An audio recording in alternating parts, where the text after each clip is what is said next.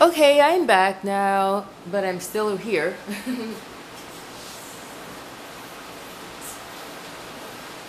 There's still a little bit of dry flour at the bottom. Let me see. Okay, I think I I think I got it all. And it looks like it looks like the dough is not going to be that um, it looks like it's not going to be that sticky. I don't know why. I used the exact I used the exact same measurements of everything of all the ingredients yesterday and it came out so sticky. I don't know why, but anyway. That's that. But it's better this way. Okay guys, you're gonna want to fast forward this part because I have to wash my hands.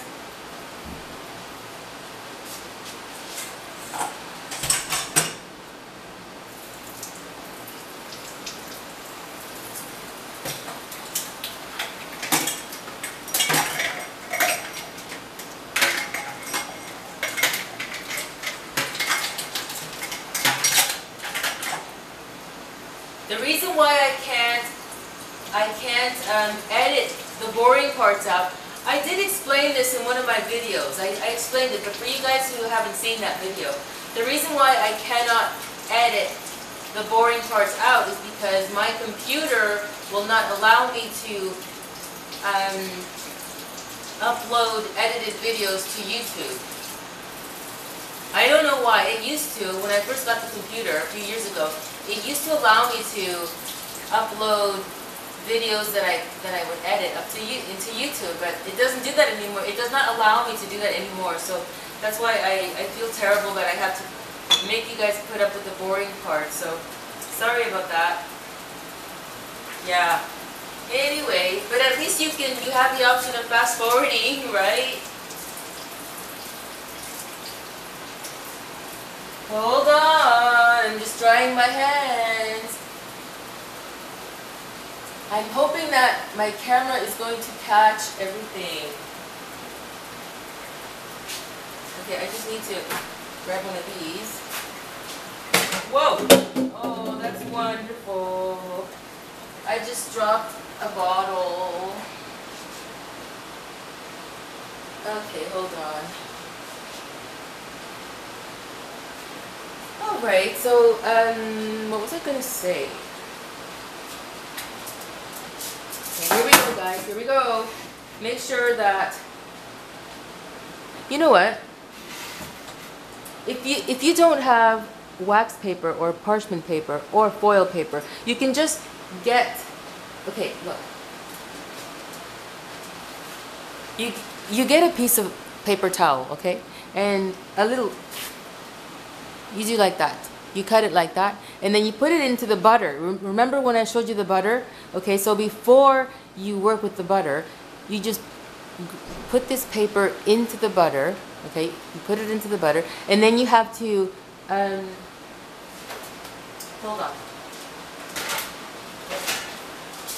You take you take the cookie sheet, and then you start to wipe the butter like put butter all over the cookie sheet. Okay, because you will not have any problems removing the cookies after you you finish baking.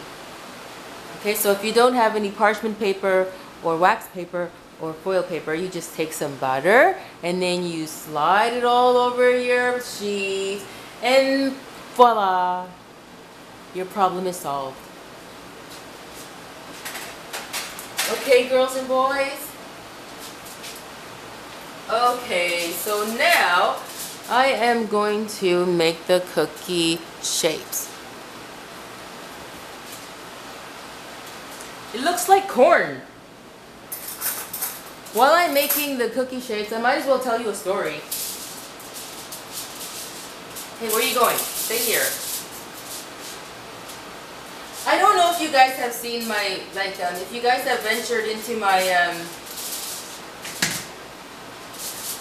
Like a, oh good, they don't stick. Thank you, Lord. Thank you, thank you, thank you. Hey, man. I don't know if you guys have um, gone into the playlist called uh, Messages to the Church. I talk about a lot of things that I've experienced and um, and uh, I put them there, right? I put I put the stories there. Hey, get there. And So, I have this one story of this. I have I tell a, a story of an account of something that I went through when I was five years old.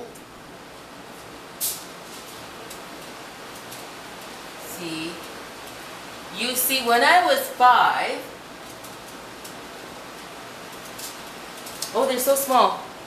When I was five years old, I experienced um, something that was very traumatic, but the Holy Spirit blocked it from, like, from it creating a lasting tra- traumatic experience. So it never bothered me.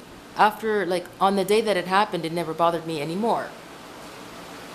See, I, I saw a girl. I saw a girl I, I, I witnessed an attempted murder, okay? I saw a girl getting burned alive. Myself and, and another five-year-old witnessed a girl between the ages of 16 and... From my five-year-old eyes, she looked to be between 16 and 20. Yeah, so... Yeah, I, we witnessed that.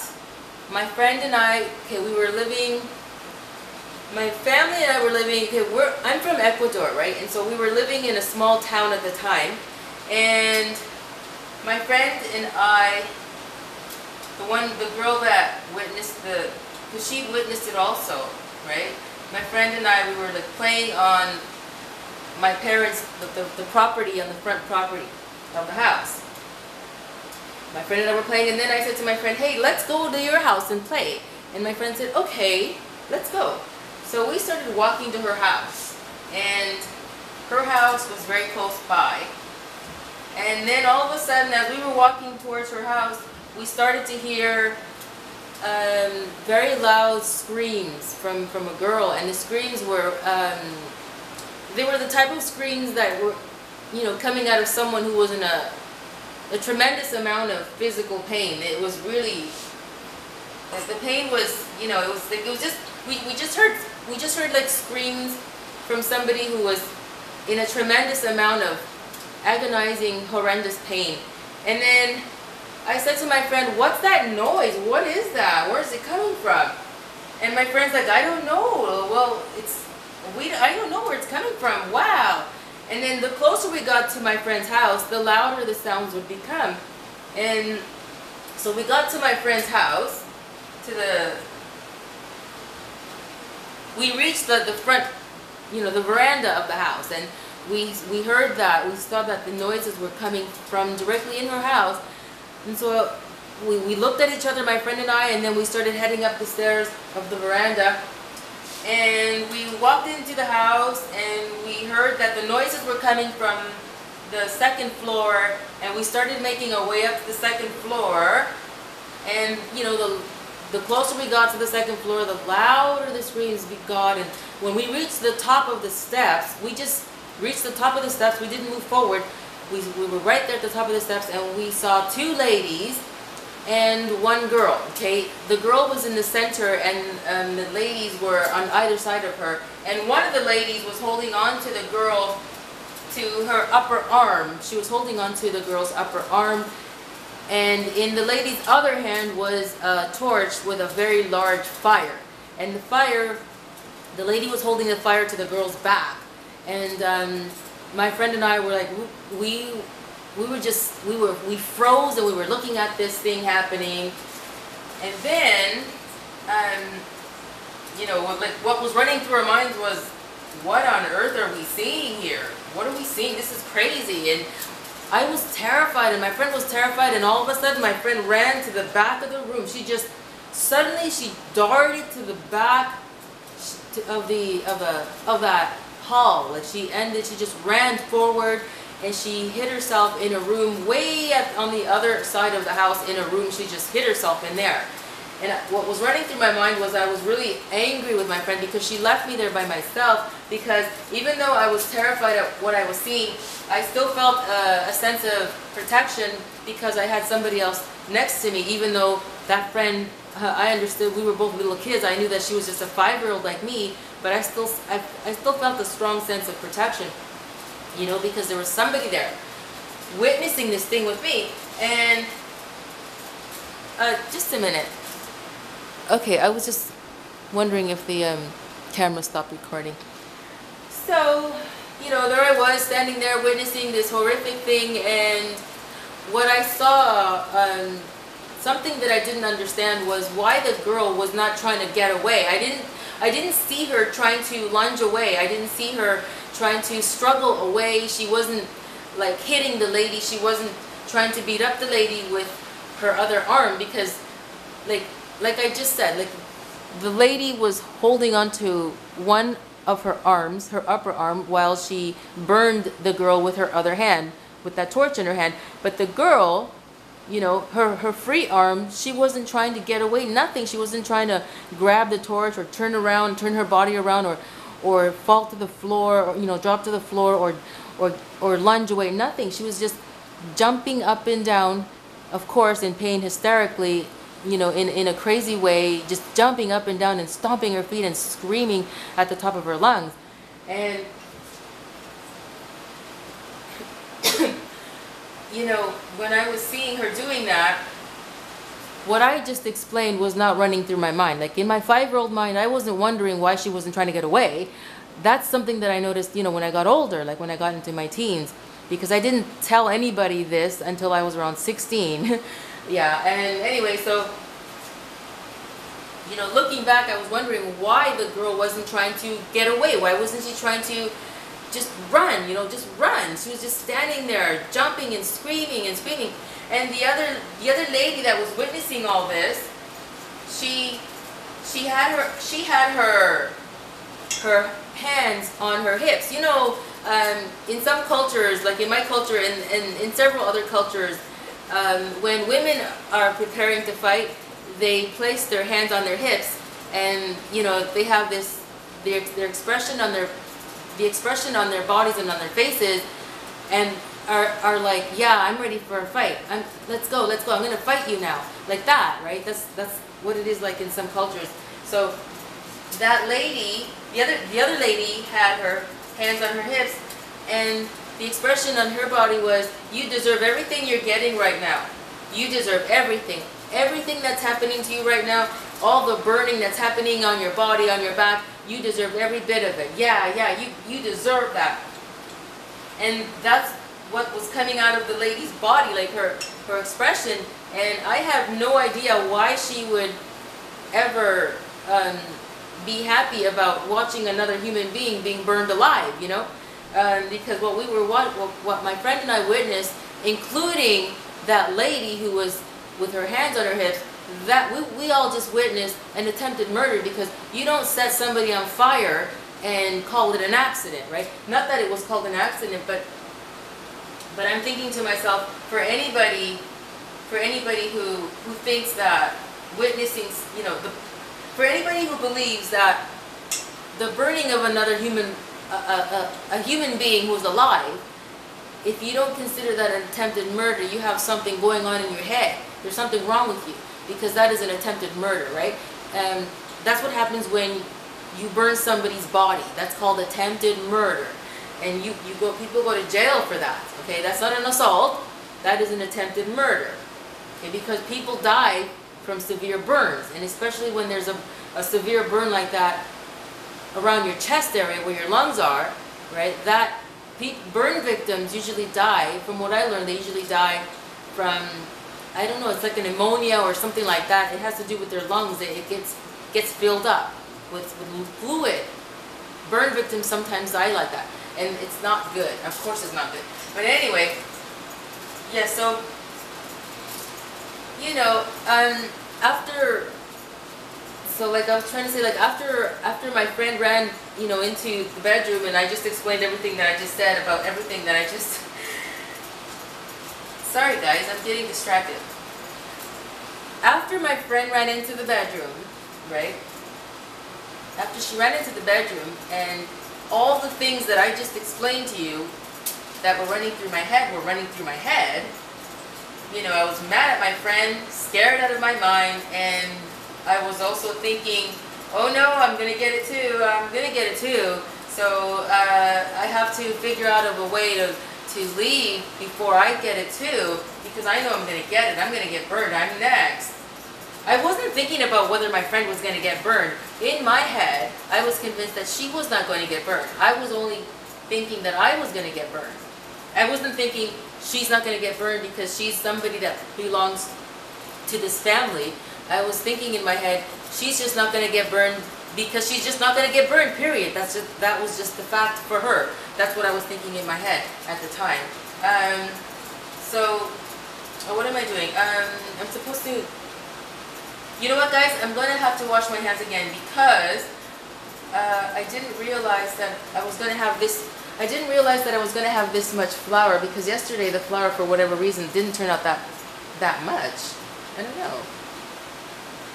Yesterday I used a cup and three quarters, I also of flour, and this is a cup and three quarters, but it's turned out that it's become a lot more. So I have to wash my hands in order to um, fix the other the other cookie sheet. So just hold on a minute, guys. You might want to fast forward this part too. Okay.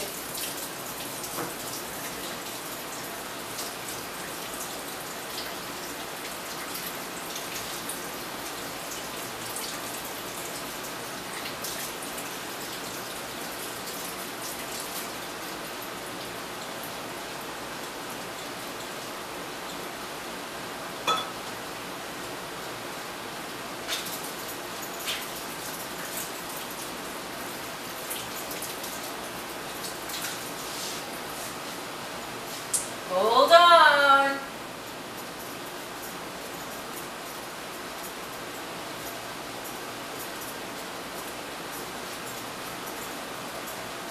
I'm cup. Okay, I just dropped the cup. That's okay. Don't worry. It's okay. The cup is fine. If you want to see which cup I dropped, I dropped this one right here. That's the cup that I dropped. just in case you were wondering. Alright, so now I'm going to put foil paper on the other cookie sheet.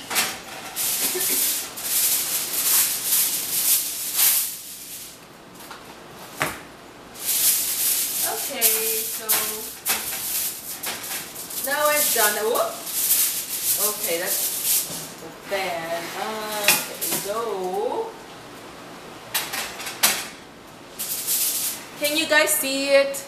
Can you guys see uh, that? A little bit of that. Okay, I think that's good. Okay, um, yeah, so what I was thinking, guys, is, uh, like, like what I just explained, I wasn't thinking about whether my friend was going to get it, but I was thinking that I was going to get it, and then I was thinking of a way to get away from there, and I thought of a plan in my head really quickly of how I was going to get out of there, and I did that, and, and, um, in my mind I was running I was running plans through my head for how I was going to get away from that scene. And very quickly, I said to myself, okay, this is what I'm going to do.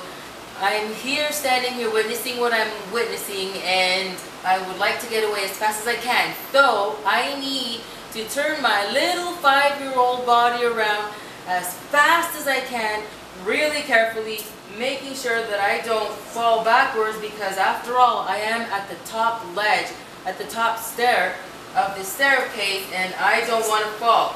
So I'm going to I'm to turn around really fast but very carefully and make sure that I grab onto the, the banister very tightly but making sure that I still have enough of a, a loose enough a, a loose enough grip so that when I start running down the stairs, because I plan on running down the stairs as soon as I turn around really fast, and I have to run so fast and make sure that my little tiny five-year-old legs don't fall and stumble all the way down to the first floor.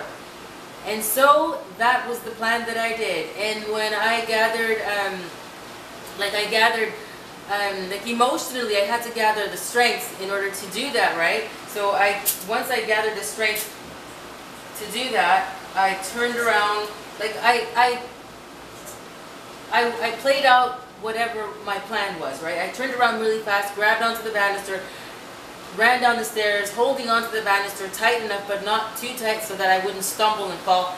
and I ran downstairs really fast, guys.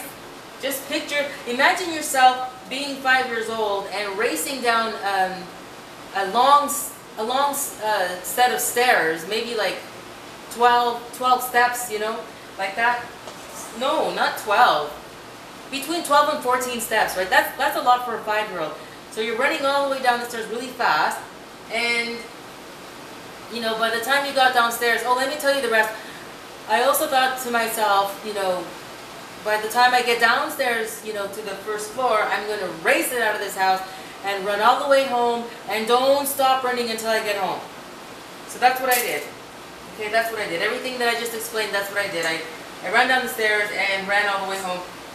And guys, I, I ran home and I, I was terrified out of my mind and I didn't tell anybody until I was around 16 years old. And when I told my parents, they were very shocked because they had no idea that something like that happened in the neighborhood. And my mother, um, my mother told me that she knew the little girl that I was I used to play with because there was only one child um, in that neighborhood that I used to play with, and um, her name.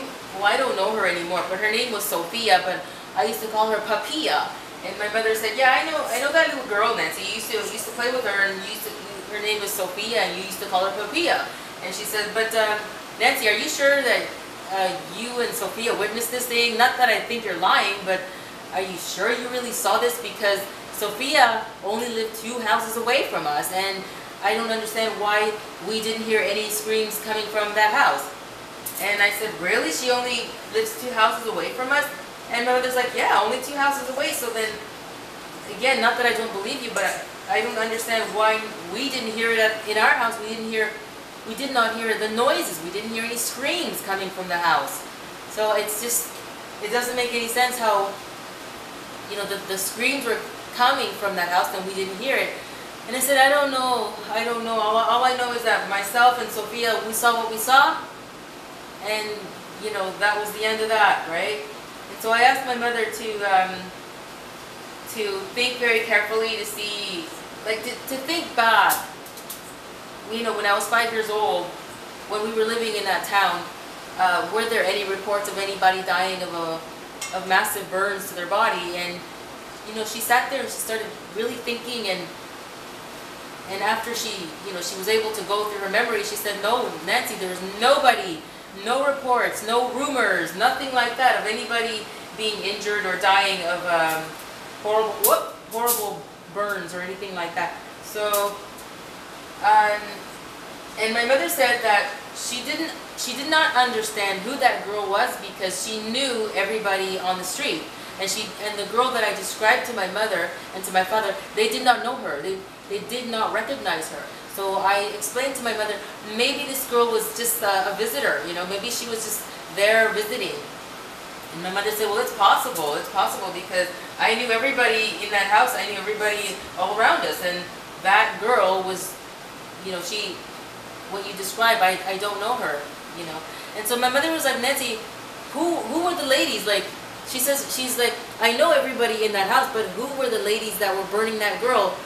And guys, I couldn't tell you who they were. All I know is, even now, remembering back, I, I couldn't tell you how old they were. But to my the best way that I could remember from a five-year-old, um, they looked to be between 45 and maybe 52, something like that. Right, so that's that's that's the best way that my mind remembers. Like they, they looked a lot, a little bit older, like a lot older than the girl, you know. Like I said, the girl was between 16 and she looked between 16 and 20, and these ladies they were, they looked through my five-year-old eyes. Um, like back then, I couldn't tell what, you know, how old a person was. Like, I mean, when you're five years old, you can't tell, in most cases, you can't tell how old a person is. But at this age, you know, looking back, and in years back, I, um, they looked, now, they remembering what I saw, they looked to be between 45 and 52. Yeah, so, and um, what else? They they were so mean, guys. They were really mean. Those ladies. I mean, of course, you have to be more than mean. You have to be more than mean to to to take such delight in burning somebody, right? Like, first of all, the person who is burning uh, the, the other person, that's that's psychotic, right? And the person who is witnessing it and approving of it by placing their hands on their their hips and saying, you know, through their body language and their facial expression, yes, you deserve this, you deserve everything you're getting. That that is also psychotic, psychotic, right? So, yep.